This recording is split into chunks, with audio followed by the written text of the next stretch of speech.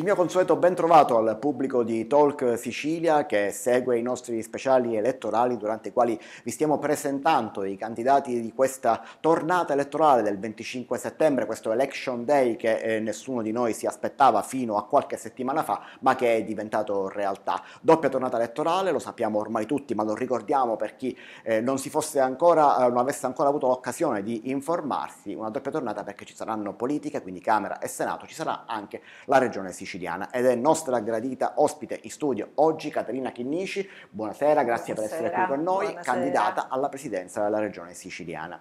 Candidata per un campo progressista, un campo del centro-sinistra che però è diverso da quello iniziale. Eh, chi segue eh, quotidianamente i fatti della politica sicuramente lo sa, però è giusto che noi ricordiamo che Caterina Chinnici ha vinto le primarie di coalizione, una coalizione nella quale c'erano anche i 5 Stelle. Poi però, nonostante i tentativi di trovare un punto di incontro, i 5 Stelle sono usciti da questa coalizione ed hanno un loro candidato, Nuccio Di Paolo, che è già passato da questi studi, era seduto esattamente in quella sedia appena l'altro ieri, eh, e che ci ha raccontato la, il suo punto di vista. È giusto e corretto sentire il punto di vista adesso anche di Caterina Chinnici. Intanto partiamo proprio da qui, che è cronaca e quindi dobbiamo un po' raccontarla. Come ha vissuto questa vicenda che eh, l'ha subita in buona sostanza quello che è successo?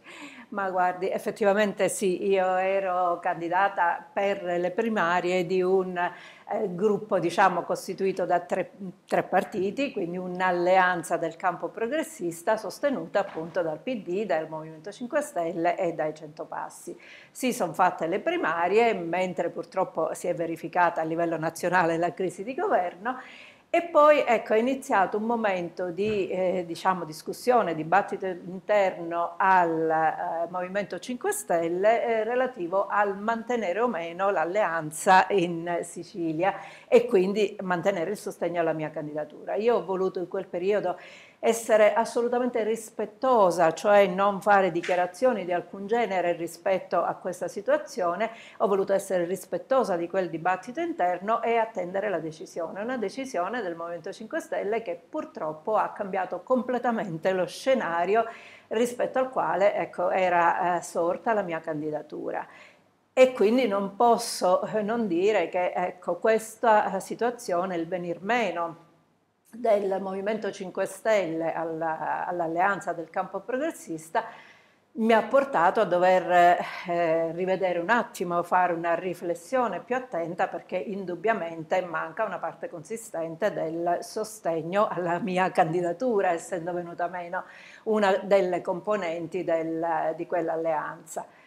Però poi ecco, il senso di responsabilità nei confronti degli oltre 15.000 eh, siciliani che mi avevano votato alle primarie, l'impegno preso con eh, i siciliani, l'amore per questa terra, mi hanno eh, indotto comunque a portare avanti, a proseguire, diciamo, ad accogliere la candidatura che mi è stata riproposta dal eh, PD e dal Movimento Centopassi e quindi ad andare avanti, però indubbiamente in uno scenario politico eh, decisamente cambiato rispetto all'inizio di questo mio percorso. Durante questo percorso che poi ha portato alla separazione con i 5 Stelle, lei ha anche tentato di riunire un paio di volte, forse tre, eh, tutte le componenti di quella, di quella, coalizione, ormai la definisco al passato, ma eh, cosa non ha funzionato in quelle... Ma guardi, noi avevamo comunque tentato ecco, di andare avanti e devo dire eh, che da parte del Movimento 5 Stelle, eh, diciamo in sede locale, pur essendoci quel dibattito interno anche a livello regionale, c'era comunque questo uh, stimolo ad andare avanti, a lavorare sul programma, perché in realtà la mia era una posizione un po' super partes, di garante di quell'accordo che si sarebbe concentrato nel programma. Quindi abbiamo continuato a lavorare, abbiamo continuato a crederci e a sperare che potesse eh, rimanere ecco, quell'alleanza nella sua integrità però purtroppo evidentemente sul piano poi squisitamente politico eh, non, eh, diciamo, ecco, l'accordo poi è venuto meno.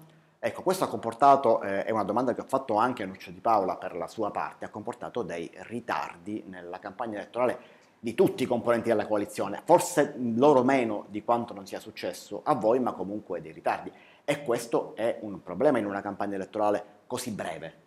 Beh sì, mm, c'è stato ecco, un momento di, di, rallentamento e quindi adesso scontiamo un po' questo ritardo, però io sono convinta che il ritardo è recuperabile, nel senso che già in realtà una parte di campagna elettorale per quanto mi riguarda era stata fatta durante le primarie. E adesso stiamo intensificando, d'altronde in realtà per tutti i candidati si può dire che sta iniziando in questi giorni la campagna elettorale, quindi un ritardo recuperabile. E quindi adesso possiamo cominciare a parlare di programma. Ci avete lavorato molto e sì. so che qualcosa ce la può anticipare.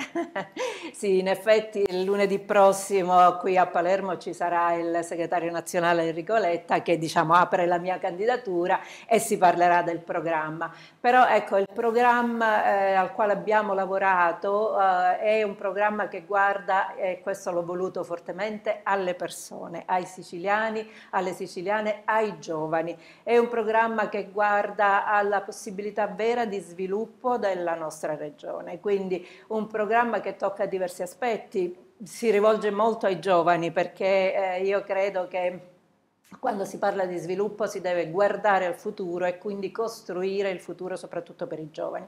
Quindi è un programma che guarda alla formazione, che guarda all'inserimento nel mondo del lavoro, guarda alla tutela del, dell'ambiente, guarda alla transizione eh, ecologica, guarda a tutti quegli aspetti che poi nella prima parte di campagna elettorale sono emersi e cioè quelle eh, esigenze di eh, dare veramente sviluppo al nostro territorio. E poi la cosa importante per me, davvero importante, è la valorizzazione dei finanziamenti europei, il PNRR, ma anche i finanziamenti strutturali, perché è inaccettabile che in una regione come la nostra, che ha bisogno di eh, ecco, avere risorse per lo sviluppo, quando quelle risorse ci sono poi non si riesca invece ad utilizzarle.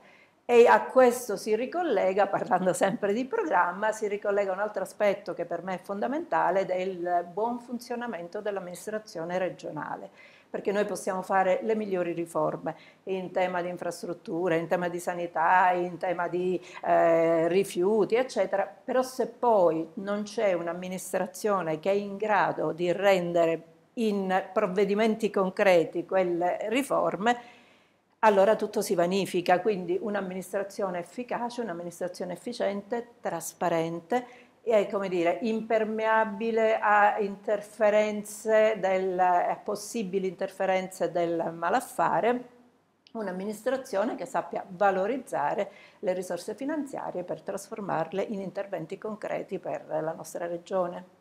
Lei ha citato a PNRR e in più in generale a risorse europee e lei è un europarlamentare. Cosa porta dunque della sua esperienza da europarlamentare e della conoscenza di alcuni modi di ragionare, diciamo così, sì. eh, che vengono dall'Europa, cosa porta di questa esperienza suo, nel programma e nel suo approcciarsi all'amministrazione? Beh, lei ha detto modi di ragionare, è vero, una visione io credo più ampia che vada oltre i confini della nostra regione.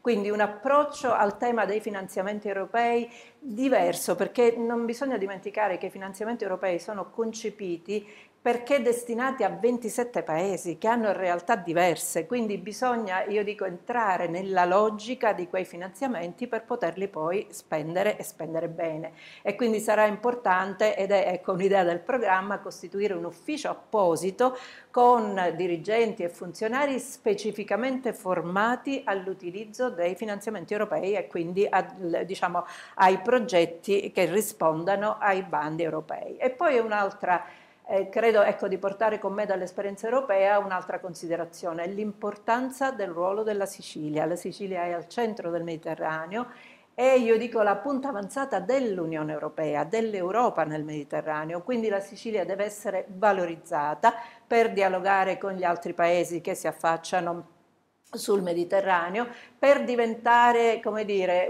se vogliamo, ecco, il punto di riferimento di tutte le politiche che possono guardare e aprirsi al, al, ai paesi che si affacciano sul Mediterraneo. E deve farlo in maniera, io direi, quasi autonoma, con quell'autorevolezza che viene dall'essere consapevoli di poter avere un ruolo importante per la regione Sicilia, per l'Italia, ma anche per l'Europa. Mi deve perdonare però, ma questo concetto che è assolutamente condivisibile, io lo sento dire da 30 anni ed è un concetto per il quale io personalmente oltre, ho anche lavorato ad alcuni incontri che eh, sono avvenuti all'inizio degli anni 2000 che avevano questo come base ma non si è mai concretizzato. Come portare questa cosa in concreto? Ma guardi, io credo ecco, che eh, le idee vanno poi trasformate nei fatti, quindi avere un programma, avere un progetto, avere i giusti collegamenti con le istituzioni europee proprio per dialogare direttamente, perché noi purtroppo l'Europa spesso l'abbiamo sentita in realtà lontana, forse la percezione dell'Unione Europea che noi chiamiamo, io dico familiarmente l'Europa, l'abbiamo avuta purtroppo in occasione della pandemia di Covid-19 perché in quel momento l'Unione Europea è stata presente con il sostegno ai paesi ma in realtà l'abbiamo sempre avvertita un po' lontana. Invece no, io credo che bisogna proprio porsi come riferimento concreto e dialogare direttamente con l'Unione Europea per essere il riferimento dell'Unione Europea nelle relazioni anche con gli altri paesi. Pensiamo per esempio al tema della, della eh, transizione ecologica, al tema delle energie rinnovabili. Per la nostra posizione geopolitica noi possiamo davvero, dialogando con gli altri paesi che si affacciano anche sul Mediterraneo, essere dire, una regione pilota per la sperimentazione di nuove energie rinnovabili. Quindi concretamente questo si può a mio avviso realizzare toccato il tema dell'energia sì. ed è un tema che oggi è veramente importante sì. e sensibile perché eh, uno dei grandi temi, inutile nascondercelo, è proprio quello del costo dell'energia. Costo dell'energia che sta mettendo in ginocchio molte imprese e quando diciamo in ginocchio non è una frase fatta, eh, so personalmente di imprese che rischiano veramente di chiudere domani mattina sì. per questo effetto. Bisognerà in qualche modo intervenire a gamba tesa su questi temi. Beh, sicuramente bisogna intervenire intanto proprio per incentivare sotto tutti i profili le energie rinnovabili. Quindi, per esempio, intervenire per eh, riqualificare gli edifici pubblici e privati proprio in funzione dell'utilizzo delle energie rinnovabili.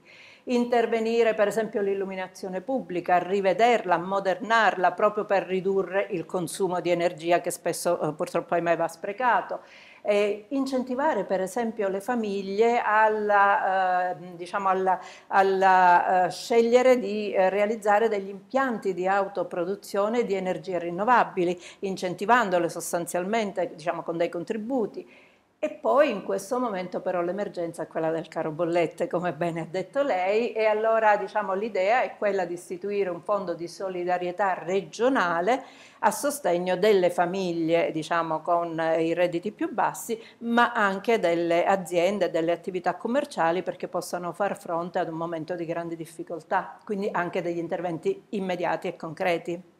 Lei poco fa parlava di un'amministrazione efficiente, efficace, ma anche sì. ah, trasparente e impermeabile. Sì. Questo è stato uno dei grandi temi anche di questa campagna elettorale e anche di un dibattito interno ai partiti che la sostengono.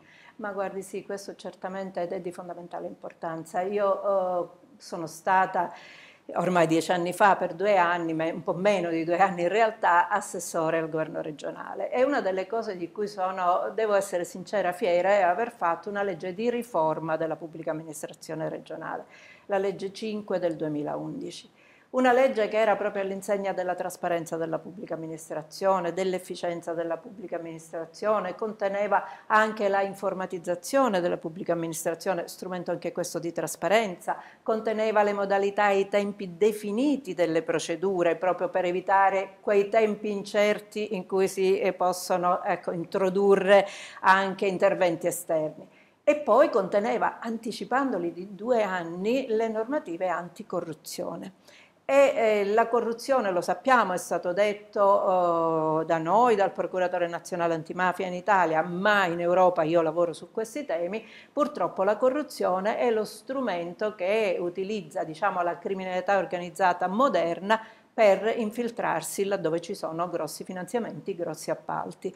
E allora una legge che sia blindata sotto questo profilo è di fondamentale importanza perché sappiamo già ed è stato sollevato anche questo a livello europeo, che la criminalità organizzata tende ad infiltrarsi laddove adesso arrivano questi finanziamenti europei così consistenti. Allora ci vuole una pubblica amministrazione che abbia delle norme che non consentano assolutamente che si infiltri anche attraverso la corruzione, si possa infiltrare il malaffare.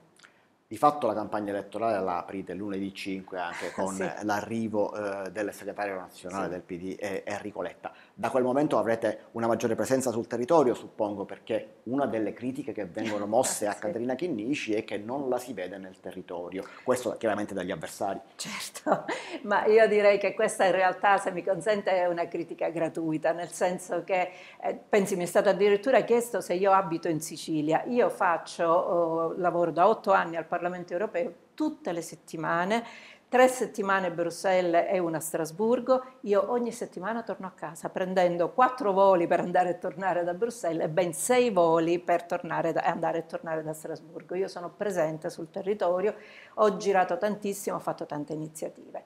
E l'ho fatto anche adesso, però eh, io forse, io dico, forse sono brava, fra virgolette, a lavorare perché lavoro tanto, un po' meno forse a comunicare.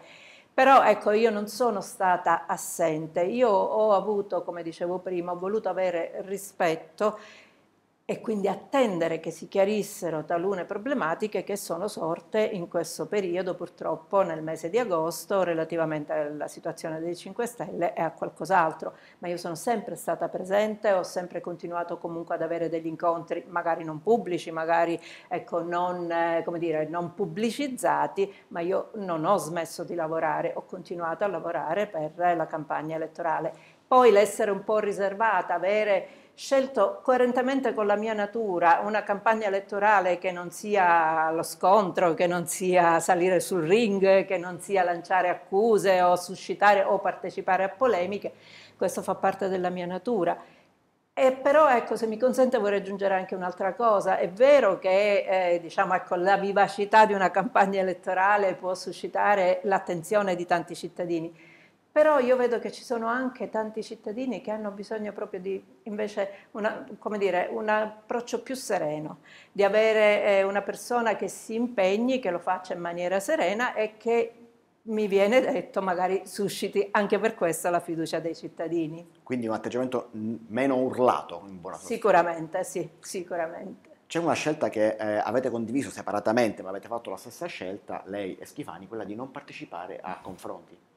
E beh, per quanto mi riguarda nasce solo da questo, ecco, dalla scelta di una campagna elettorale, come dice lei bene, non urlata, una campagna elettorale che non è una campagna contrassegnata dallo scontro. Io l'ho detto fin dall'inizio, la mia è una candidatura per, per i siciliani e per la Sicilia, la mia non è una candidatura contro quel governo contro un altro candidato. E siccome purtroppo nei confronti quasi sempre il confronto finisce per essere un po' uno scontro, finisce per essere un po' un lanciarsi, diciamo, accuse reciproche, eccetera.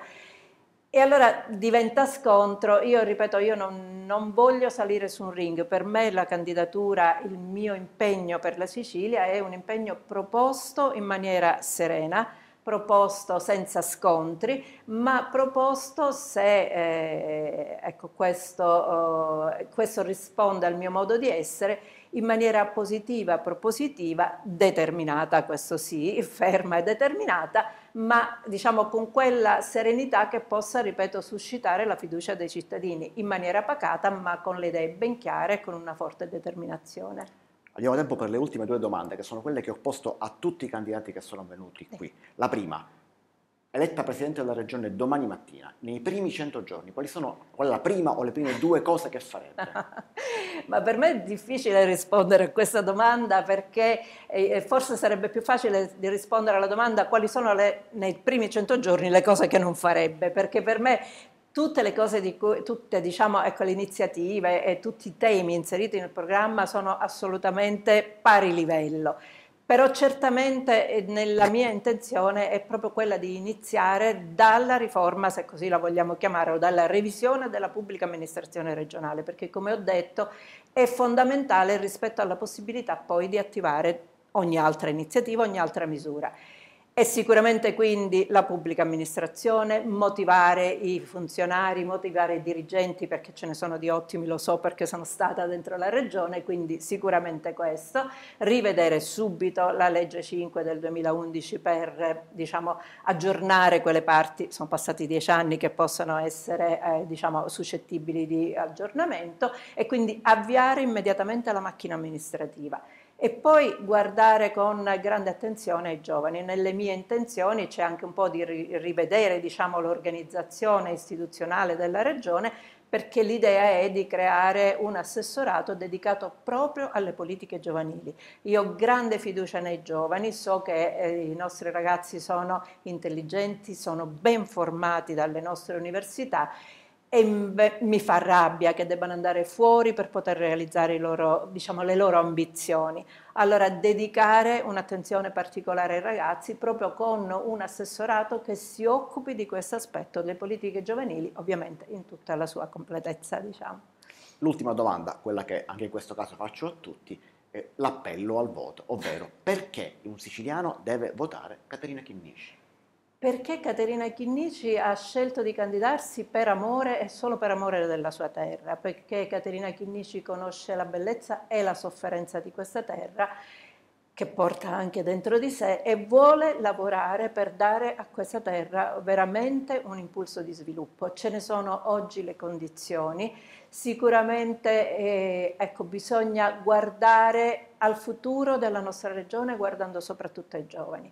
Caterina Chinnici ha forse un approccio un po' diverso rispetto a quello classico diciamo, della politica, ma sicuramente ha una forte determinazione, ha un'esperienza maturata in tanti settori, in tanti ambiti, quello della pubblica amministrazione, quello del, della politica, quello europeo, quello dell'alta amministrazione, quindi porta con sé un forte impegno, un impegno autentico e genuino che è amore per questa terra e attenzione soprattutto per i giovani perché io voglio che i giovani siciliani possano scegliere di realizzare le loro ambizioni in Sicilia trovando tutte le condizioni per farlo.